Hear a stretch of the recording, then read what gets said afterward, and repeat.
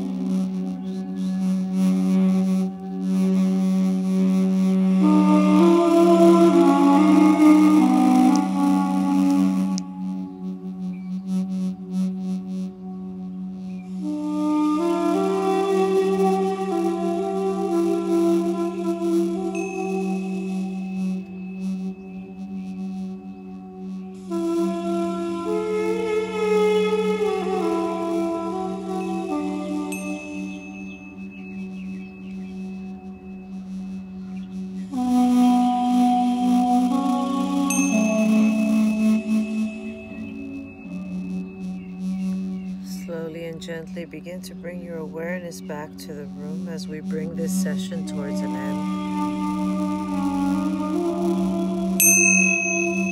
I truly hope you find some relief.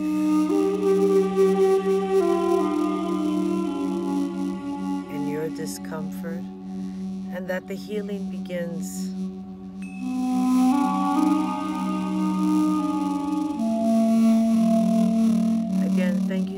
for watching. My name is Adelaide.